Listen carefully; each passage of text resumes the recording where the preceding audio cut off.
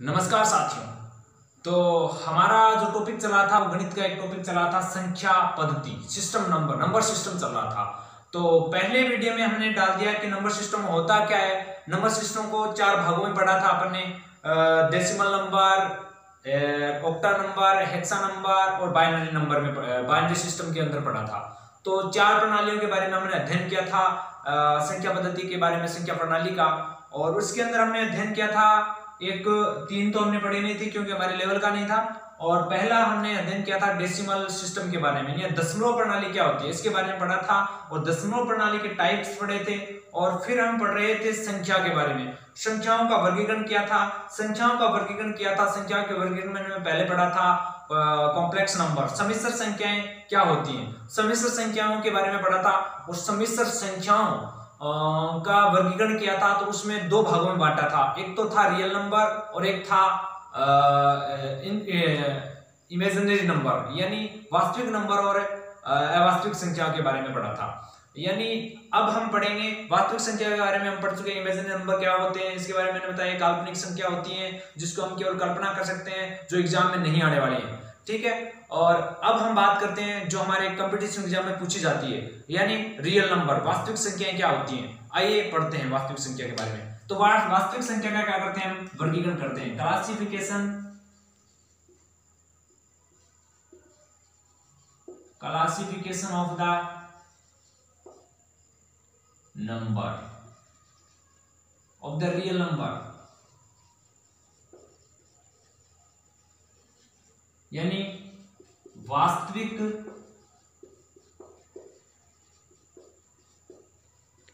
क्यों का वर्गीकरण?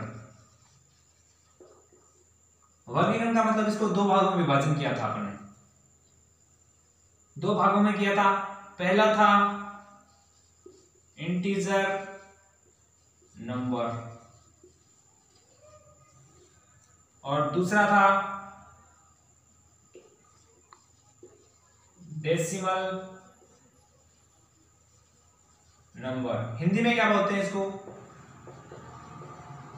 दशमलव संख्या। इसको क्या बोलते हैं? पूर्णांक संख्या। ठीक है? अब पढ़ते हैं इसके बारे में कि ये क्या होती है और ये क्या होती है। तो सबसे पहले हम पढ़ेंगे डेसिमल नंबर दशमलव संख्या के बारे में। फिर पढ़ेंगे इसके इंटीजर नंबर पूर्णांक के बारे में। तो हम पढ़ते हैं डेसिमल नंबर ठीक है? डेसिमल संख्या। डेसिमल संख्या पढ़ेंगे। हम पढ़ रहे हैं वास्तविक संख्या के अंदर। पहला टॉपिक पढ़ते हैं। डेसिमल नंबर डेसिमल नंबर मतलब दशमलव संख्या। दशमलव संख्या पढ़ रहे हैं। दशमलव संख्या का कितने टाइप होते हैं? पहले टाइप के बारे में जानते हैं इसको। जैसे एक उसका ये टाइप हो गया। ठीक है? एक इसका ये टाइप हो गया। एक इसका ये टाइप हो गया।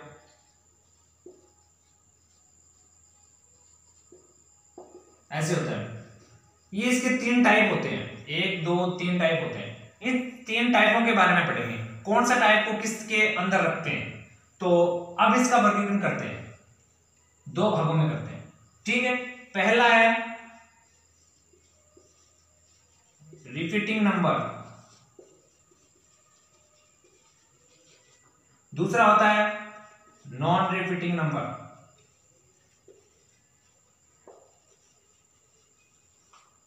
अब बात करते हैं रिपीटिंग नंबर को हिंदी में क्या कहते हैं? रिपीटिंग मतलब बार बार आना, यानी पुनरावर्त पुनरावर्ती हो उसे पुनरावर्ती वाली संख्याएँ। और नॉन रिपीटिंग न हो। अब हम पढ़ते हैं कि पुनरावर्ती वाली संख्या कौन सी होती हैं? जैसे ये संख्या है। ये संख्या इसकी बार बार क्या हो रही है? पुनरावृत्ति हो रही है। तो ये क्या है? एक रिपीटिंग नंबर है। ठीक है? इसको ऐसे भी लिख सकते हैं अपन। ऐसे भी लिख सकते हैं। ठीक है? अब बात करते हैं। ये पुनरावृत्ति जिसकी नहीं होती है, उसे क्या कहेंगे? जिसकी पुनरावृत्ति नहीं होती है, उसे नॉन रिपीटिंग नंबर कहते हैं। ठीक है? अब इसके बारे में पढ़ते हैं। तो जिसकी पुनरावृत्ति होती है, जिसको बार बार वो संख्या आती है, पुनरावृत्ति होती है, उसको क्या कहते हैं? अशांत बोलते हैं। अशांत दशमलव संख्या।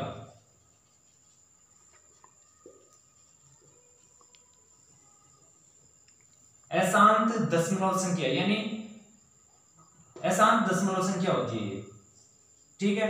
जो बार बार आती रहती है। अब इसके बारे में पढ़ते हैं कि अशांत दशमलव से कहते हैं।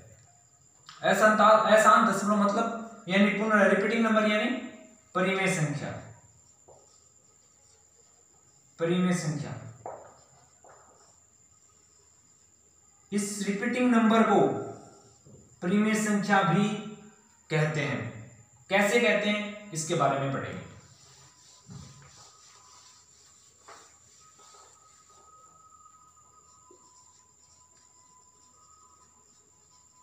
रिपीटिंग नंबर को क्या कहते हैं?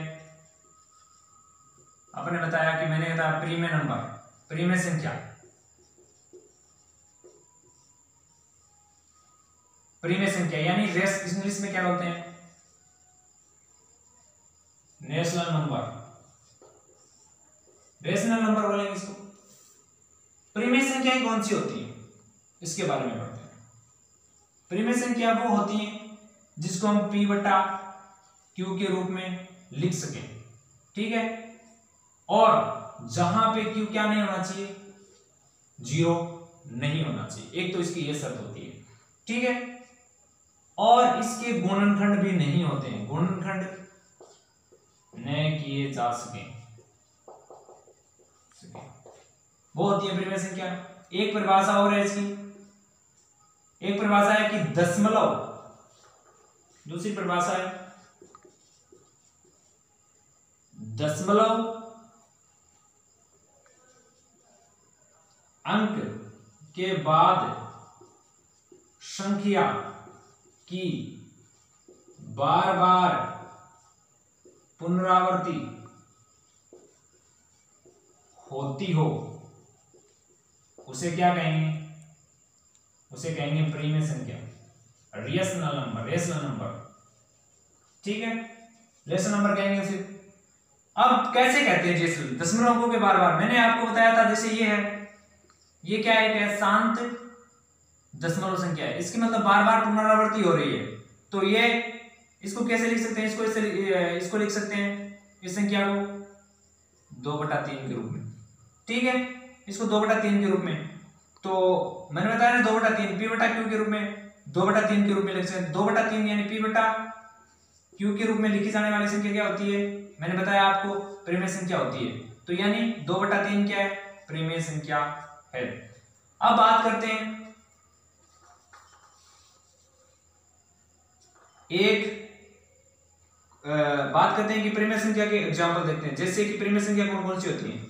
प्रीमिय संख्या कौन कौन सी होती है? जैसे बताता हूँ एक प्रीमिय संख्या है दो प्रीमिय संख्या है तीन प्रीमिय संख्या है चार प्रीमिय संख्या है, दो बटा तीन प्रीमिय संख्या आई पाँच बटा तीन प्रीमिय संख्या है, सात बटा तीन प्रीमिय संख्या है, बाईस बटा सात प्रीमिय संख्या है। ये सब क्या है?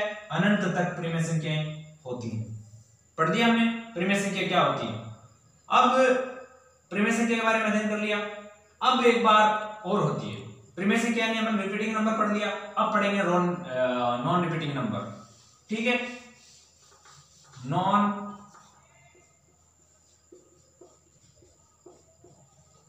रिपीटिंग नंबर पुनरावर्ती ना उसे क्या कहेंगे? अप्रीमे संख्या। अप्रीमे संख्या इंग्लिश में क्या कहते हैं? इरेशनल नंबर इरेशनल नंबर बोलते हैं इसको इंग्लिश में। ठीक है? प्रीमे अप्रीमे संख्या कौन सी होती है? अप्रेम्य संख्या कौन सी होती है? अप्रेम्य संख्या वे होती है जिसको हम पी बट्टा क्यू के रूप में नहीं लिख सकते। ठीक है? एक वो संख्या है।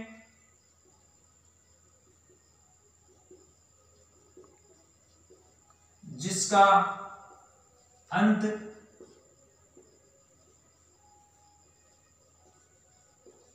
निश्चित हो। जिसका अंत निश्चित हो। यानी जिस संख्या में क्या नहीं किया जा सकते, गुणनखंड नहीं किया जा सकते। जिस संख्या में गुणनखंड सॉरी यहाँ पे मैं आपको बता रहा हूँ कि जिस संख्याओं का मतलब हम अंत न हो, ठीक है? कौन कौन सी है? एप्रिल संख्या कौन कौन सी होती है? एग्ज़ाम्पल के रूप में बता देता हूँ आपको। अंडरूट दो, एक एप्रिल में संख्या है। कैसे है? अंडरूट दो का मान कितना होता है? एक पॉइंट चार, एक चार एक चार, ऐसे होता है। है ना? और एक अंडरूट तीन हो गई। अंडरूट चार, ये क्या है? सब अप्रिमेय संख्याएँ होती हैं? अब बात करते हैं। हमारे गणित में एक और चलता है। क्या होता है वो? आपने कभी गणित में पाई का नाम सुना है ना? अब बताओ, पाई प्रिमेय संख्या है? प्रिमेय संख्या है? इसके बारे में पढ़ते हैं। तो इसके बारे में अध्ययन करेंगे। कि पाई प्रिमेय संख्या है या नहीं? तो पाई का मान कितना होता है? बाईस बटा सात होता है। अब आप कह सकते हैं कि पी बटा क्यू में लिख रहे हैं इसको। तो ये क्या है? प्रीमियर संख्या है? ठीक है ना? इसका मान कितना होता है? पाई का मान तीन पॉइंट एक चार, ऐसे होते होता है। ठीक है? मैं आपको यहाँ एक बात बताना चाहता हूँ कि ये पाई का व्यापक मान नहीं है। व्यापक मान नहीं है। क्यों क्यों नहीं है? क्योंकि अब तक पाई का मानों को पचहत्तर हज़ार पचहत्तर हज़ार डिजिट के रूप में मान निकाले जा चुके डिजिट निकाले जा चुके हैं। अब तक पाई के पचहत्तर हज़ार डिजिट भी निकाले जा चुके हैं। पाई का कोई अभी तक सही मान नहीं है तो इसको हम नहीं करेंगे। यानी पाई क्या है? एक अप्रीमे संख्या है। ठीक है? एप्रीमे संख्या आपको बताया मैंने। अंडरूट दो अंडरूट तीन अंडरूट पाँच, ये सब क्या है? ये क्या है? सब क्या होगी ये? पाई, ये सब क्या होगी? ऐसे चलती जाएँगी। ये सब क्या है? नॉन रिपीटिंग यानी एपर में संख्या है। इसको इंग्लिश में आपको बताया, मैंने बताया। इंग्लिश में क्या बोलते हैं? इरेशनल नंबर रेशनल नंबर बोलते हैं। अब थोड़ी सी चर्चा करते हैं इस पे, कि इस पे कैसे क्वेश्चन पूछे जाते हैं एग्ज़ाम में? इसके बारे में चर्चा करते हैं। ठीक है, इस पर कैसे क्वेश्चन पूछेंगे तो कुछ तथ्यों के बारे में जानते हैं, कुछ तथ्य निकालते हैं, प्रेम संख्या के बारे में तथ्य तथ्य पढ़ते हैं। प्रीमेय व अप्रीमेय प्रीमेय तथा अप्रीमेय के। वो कैसे पढ़ेंगे? उसके बारे में पढ़ेंगे। एक तो प्राकृत संख्याएँ होती है ना, प्राकृत संख्याएँ जानते हो कौन कौन सी होती हैं? बताएँगे आपको। प्राकृत संख्या होती है ना, सभी क्या होती हैं? परिमेय संख्या होती है। संख्या होती हैं। ये पहला तथ्य इसका। दूसरी बात, परिमेय संख्याओं का योग व गुणनखंड फैक्टर क्या होते हैं? परिमेय संख्या होते हैं। यानी रेशनल नंबर होते हैं। तीसरी बात, परिमेय संख्या। परिमेय संख्या यानी रेशनल रेशनल नंबर व इरेशनल नंबर। रेशनल नंबर का योग व गुणनखंड फैक्टर क्या होंगे? अप्रिमेय संख्या होंगे। इसके तथ्य हैं। जब आप रेशनल नंबर इरेशनल नंबर दोनों को अगर आप गुणा करते हैं, अगर आप उसके गुणनखंड करते हैं, अगर आप उसका योग करते हैं तो वो हमेशा क्या आएगी? इरेशनल नंबर आएगी। एक अप्रिमेय संख्या आएगी। ठीक है? अब इसके बारे में कुछ एग्ज़ाम में पूछे जाने वाले प्रश्नों को कैसे पूछा था कई बार हम क्वेश्चन देखते हैं। तो ऐसे लिखा हुआ हमें मिल जाता है। चलिए पहले क्वेश्चन बात करते हैं। ए व बी के बीच प्रीमिय संख्या प्रीमिय संख्या ज्ञात करो। कितनी होगी? ये पूछा जाता है, कितनी होती है? ऐसा पूछा जाता है। तो कैसे निकालोगे? इसके लिए एक आपको मतलब बात सोचनी पड़ेगी, थोड़ी सी। ए और बी के बीच में परिमेय संख्या निकालनी है? तो नॉर्मली क्या लेते हैं? नॉर्मली एक संख्या लेते हैं? ए प्लस बी बटा दो। यानी पी बटा क्यू के रूप में ले लिया आपने। ठीक है ए प्लस बी अब यहाँ पे ए डिजिट है ना, उसको चेंज करते जाओ और उसके मान आगे बढ़ते जाएँगे। अगर आपको उसको व्यापक और संख्या लेनी है तो आप इसके स्थान पे ए के स्थान ए के साथ के जोड़ दो और यहाँ पे के के जो मान है ना उसको हमेशा चेंज करते रहो, इसको चेंज करते रहो। ठीक है? चेंज के के मान यहाँ पे ले लिए, एक, दो, तीन, चार, पाँच। कैसे करोगे? आपको बताता हूँ। ए हमारे पास मान लो एक है और बी हमारे पास दो है। ठीक है? दो। ये तो हो गया तीन बटा दो हो गया। ठीक है? अब यहाँ पे क्या के लगा दो यहाँ पे। इसके मानों में चेंज करते जाओ आप। ठीक है? चेंज करते जाओ। एक के स्थान पे रख दो, एक, दो, तीन। के के स्थान पे अपन मान लो दो रख दिया। एक इंटू दो प्लस दो बटा दो। तो ये क्या होगा? चार बटा दो। तो इस प्रकार क्या है? इसको हम अनंत तक ज्ञात कर सकते हैं, यानी फाइनेट तक ज्ञात कर सकते हैं फाइनेट तक। ठीक है? तो इस प्रकार इसमें कहा जाता है कि ए और बी के बीच परिमेय संख्या कितनी होती है? तो कितनी होती है? अनंत होती हैं। कितनी होती है? अनंत होती है। ठीक है? ये हो गया। अब अगला क्वेश्चन पढ़ते हैं, इसके बीच में एक और है संख्या के बारे में चर्चा कर सकते हैं। ए व बी के बीच अप्रिमेय अप्रिमेय संख्याएँ कितनी होती हैं? कितनी होती हैं? इसके बारे में अध्ययन करें। ए और बी के बारे में अप्रिमेय संख्या कितनी होती है? इसके लिए एक साधारणतः नॉर्मली एक संख्या लेते हैं? ए व बी इसे ले लें। यहाँ पे ए का मान एक रख देते हैं और बी का मान मान लो आप रख दो चार रख दो।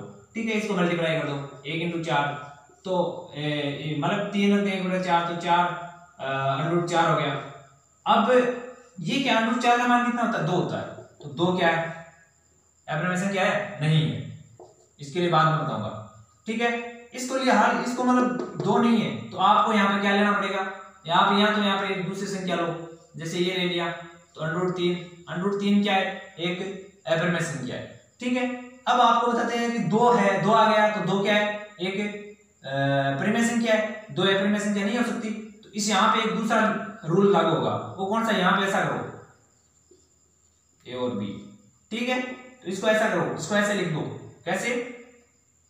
तीन आ गया, और यहाँ पे एक इंटू चार। तो तीन, चार।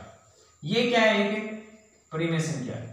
तो इस प्रकार ए और बी के बीच इन दो सूत्रों के माध्यम से, एक तो ये हो गया और एक ये हो गया।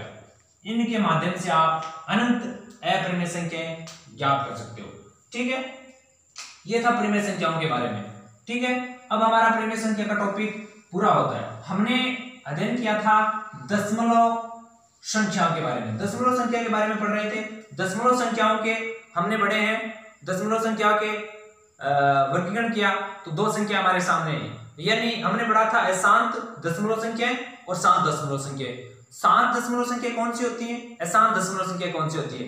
अशांत दशमलव संख्या को प्रेम संख्या भी कहते हैं। क्यों कहते हैं? इसके बारे में मैंने इस वीडियो में बताया है। ठीक है? और फिर बताया था नॉन रिपीटिंग नंबर यानी शांत शांत दशमलव संख्या के बारे में बताया था। अप्रेम संख्या कहते हैं इसको। ठीक है? इसको क्यों कहते हैं? इसके बारे में मैंने आपको बताया है। ठीक है? अब चर्चा करते हैं आगे। हमारा चल रहा है, वास्तविक संख्या के बारे में वर्गीकरण कर रहे हैं ना? वास्तविक संख्या का वर्गीकरण कर रहे हैं। आगे चलते हैं पर हमारा टॉपिक रहेगा अगला। ये अपने पढ़ दिया डेसिमल नंबर पढ़ दिए अब पढ़ेंगे integer number integer number integer number पढ़ेंगे। यानी पूर्णांक संख्या। पूर्णांक संख्याएँ क्या होती हैं? पहले तो आपको इसकी परिभाषा आनी बहुत ज़रूरी है। पूर्णांक संख्या क्या होती है? पूर्णांक संख्या वो होती है, वो संख्याएँ वो संख्याएँ जिसे हम धनात्मक और ऋणात्मक चिन्हों के अंदर व्यक्त कर सके। धनात्मक, ऋणात्मक चिन्हों के अंदर उसे दर्शाया जा सके। उसे क्या कहेंगे? अपन क्या कहेंगे? उसे कहेंगे हम पूर्णांक संख्या। यानी वो संख्या है जिसे धनात्मक और ऋणात्मक ऋणात्मक, यानी नकारात्मक चिन्हों के अंदर, चिन्हों के अंदर क्या कर सके? प्रदर्शित कर सके रिप्रेजेंट कर सके। उसे क्या कहेंगे? उसे कहेंगे अपन पूर्णांक संख्या। ठीक है? अब बात करते हैं? अपन बात कर रहे थे रियल नंबर में पढ़ रहे हैं ना? तो रियल नंबर देखो कौन कौन सी, अब बात करेंगे पूर्णांक संख्या का वर्गीकरण पढ़ेंगे। कौन कौन सी होती है पूर्णांक संख्याएँ ये इसका वर्गीकरण करेंगे कितने भागों में बांटते हैं इसको? ठीक है? इससे पहले हमें एक जानकारी लेनी ज़रूरी होती है। तो हमारे पास ये काल्पनिक रेखा है। ये हमारे पास क्या है? काल्पनिक रेखा। काल्पनिक रेखा है, इस रेखा पर वास्तविक संख्या विद्यमान है। माइनस वास्तविक संख्या होती है, माइनस अनंत से लेके प्लस इनफाइनाइट तक, यानी प्लस अनंत तक होती है। इसके बीच में बहुत सारी संख्या आती है, जितनी गणित की संख्या इस संख्या पे विद्यमान इस लाइन पे, रेखा पे विद्यमान है। यहाँ पे ज़ीरो है, यहाँ पे आपको पता है, इसकी संख्या दर्शाते हैं। ठीक है? ठीक है? ऐसे दर्शा दिया। ये प्लस वाली हो गई। ये माइनस वाली हो गई। ठीक है? अब बात करते हैं इसके अंदर कि वास्तविक संख्याएँ की ये जो, इस रेखा पर विद्यमान है तो हमने पूर्णांक संख्या पूर्णांक संख्या धनात्मक और ऋणात्मक कहा था। धनात्मक कौन सी होती है, ऋणात्मक कौन सी होती है? अब यहाँ पे पढ़ते हैं। धनात्मक कौन सी होती है? धनात्मक कौन सी संख्या होती है? तो यहाँ पे पढ़ते हैं, ये कौन सी है? धनात्मक संख्या। इसे कहते हैं धनात्मक पूर्णांक। यानी positive number positive integer integer number ठीक है?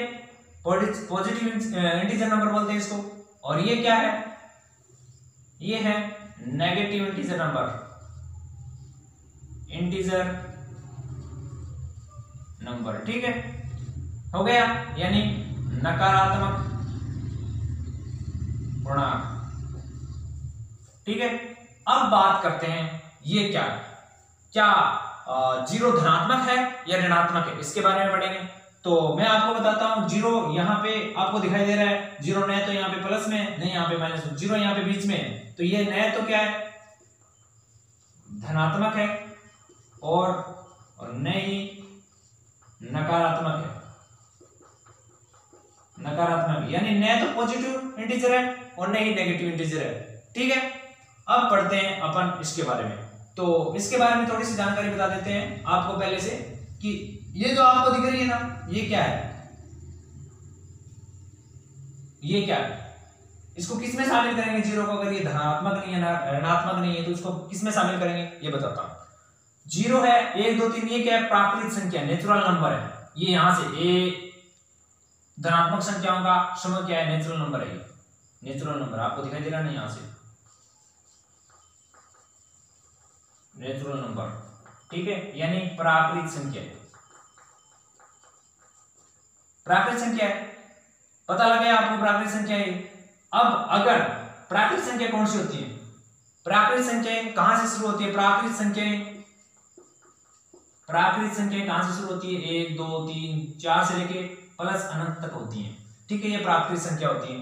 अगर प्राकृत संख्या में अगर ज़ीरो शामिल कर दें तो क्या होगा? कौन सी संख्या बनेगी? प्राकृतिक संख्या में अगर ज़ीरो शामिल करते हैं तो बनेगी संपूर्ण संख्या। संपूर्ण संख्या। जिसको इंग्लिश में कहते हैं होल नंबर क्या बोलेंगे? होल नंबर बोलेंगे। ठीक है? यानी ज़ीरो, एक, दो, तीन, चार, ये अनंत तक होती है। ठीक है? इसको बोलेंगे। यानी ज़ीरो अपने आप में क्या है? न तो धनात्मक, न तो नकारात्मक है, न तो पॉजिटिव है, न नेगेटिव है। तो ये क्या है? एक होल नंबर है। ठीक है? इसके बारे में अध्ययन हो गया पूर्णात्मक ऋणात्मक अब इसके बारे में आगे ज़्यादा डिटेल के बारे में पढ़ने के लिए हम अगले वीडियो में अध्ययन करेंगे। और हमने पढ़ लिया आज, पूर्णांक संख्या क्या होती है, प्राकृतिक संख्या क्या होती है, और ये पढ़ा है, प्राकृतिक संख्या क्या होती है, और वोल नंबर संपूर्ण संख्या क्या होती है, वास्तविक संख्या क्या होती है इंटीजर नंबर क्या होते हैं, इसको कितने भागों में डिवाइडेशन किया गया है, इसके बारे में हमने अध्ययन किया है। अगले वीडियो में पढ़ेंगे अपन कि धनात्मक संख्याओं का वर्गीकरण क्या होता है? धनात्मक संख्याओं का वर्गीकरण के बारे में पढ़ेंगे। कि सम संख्याएँ कौन सी होती हैं? विषम संख्याएँ कौन सी होती हैं? और अभाज्य संख्या यानी अभाज्य संख्याएँ कौन सी होती हैं? भाज्य संख्याएँ कौन सी होती हैं? इसके बारे में अगले वीडियो में अध्ययन करेंगे। और ये जो हमने पढ़ लिया इतना, आपको बताइए कि अगर इसमें कोई प्रॉब्लम आपको नज़र आती है तो मुझे नीचे जो कमेंट बॉक्स से टिप्पणी उसमें आप लिख सकते हो कि इसमें ये प्रॉब्लम है, कहाँ आपको प्रॉब्लम आ रही है। हम इसके बारे में पूरा ज़ीरो से लेकर चल रहे हैं। मेरा मकसद है कि गणित को ज़ीरो से लेके पढ़ेंगे अपन। यानी पूरा बेस मज़बूत होगा ना तो हम गणित का हर एक सवाल आसानी से कर सकते हैं। तो मैं यहाँ पे आपको बेसिक बता रहा हूँ। गणित की वो आप, वैसे आपको बताइए कौन कौन सी आप सब पढ़ते आए हो कंपटीशन की तैयारी कर रहे हो तो इसका मतलब है आपको पूरा नॉलेज है कंपटीशन के बारे में। और आपको पता ही है कि कंपटीशन के अंदर कौन कौन सी चीज़ें आती हैं। तो वो तो आपको बताने की आवश्यकता नहीं है। आपको पूरा, आप जानते हैं कि कौन कौन सी टॉपिक्स कंपटीशन के अंदर आते हैं कौन कौन से टॉपिक्स के कौन कौन से भाग आते हैं, ये आपको पता है। लेकिन क्या है कि कई बार मेरे साथियों से मुझे मिलने से पता चला है कि उसको बेसिक नॉलेज नहीं है गणित के बारे में। कौन कौन सी संख्या क्या होती है कौन कौन सी क्या होती है, वो बता देते हैं रटिफिकेशन लगाते हैं। अपन को गणित रटना नहीं है। गणित को समझना है। और गणित अगर आप समझकर करते हो, ज़िंदगी में कभी गणित जैसा कोई सब्जेक्ट या इजी नहीं है आपकी ज़िंदगी में। मैं आपको बता देता हूँ, गणित जितना कोई सब्जेक्ट इजी नहीं है, बहुत ही इजी बहुत ही आसान सब्जेक्ट है। इसको पढ़ने में जितना आनंद आता है ना, वो और किसी सब्जेक्ट में नहीं आता। तो हम अगले वीडियो में इसका अध्ययन करेंगे, आगे अध्ययन करेंगे, इसका वर्गीकरण करेंगे इन संख्याओं के बारे में तो कई संख्याएँ और आएँगी हमारे बीच में। तो इस प्रकार आप हमारे इस चैनल को सब्सक्राइब कर दिए, करते रहिए और इसको लाइक करते रहिए शेयर करते रहिए। अगर मेरे में मेरी इस वीडियो बनाने में कोई त्रुटियाँ आपको नज़र आ रही है तो आप जो टिप्पणी बॉक्स है नीचे कमेंट बॉक्स है उसमें आप मुझे अपने नॉलेज के बारे में आपने जो उसमें जो कमियाँ देखी इस मेरे बताने में उस कमियों को ज़रूर अवगत कराएँ। ताकि मुझे भी कुछ नया सीखना है। कोई बंदा अपने आप में परफेक्ट होता नहीं है ये आप जानते हो। तो साथियों आज के आ, आज की इस वीडियो के साथ आपको बहुत बहुत धन्यवाद। अगले वीडियो में मिलते हैं। तो जय हिंद जय भारत।